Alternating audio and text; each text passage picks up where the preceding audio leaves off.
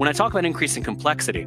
uh, you know, this relates to kind of genetic, environmental, and epigenetic research in the sense that the last 25 years have shown huge advances in our understanding of gene influences on mental health disorders, the way that certain environmental factors might exert large effect sizes on the presentation of symptoms over time, and even in the, the term epigenetics, the way that the environment could actually change our gene expression over time, depending on what stressors we're facing or what protective factors we're facing. And what this means is that things we might earlier have thought of as perhaps more simple, like hoping to find a single cluster of genes that, you know, determines ADHD. In fact, we find that there's not a single cluster of genes. There's in fact many, many genes that could play a role in defining risk for ADHD, and that those genes are also shared with many perhaps other mental health conditions. And what this also brings up for us is this kind of increasing complexity makes our heads spin that says, well, maybe what we have behaviorally, as reliable as it is, and even as we don't want to abandon it,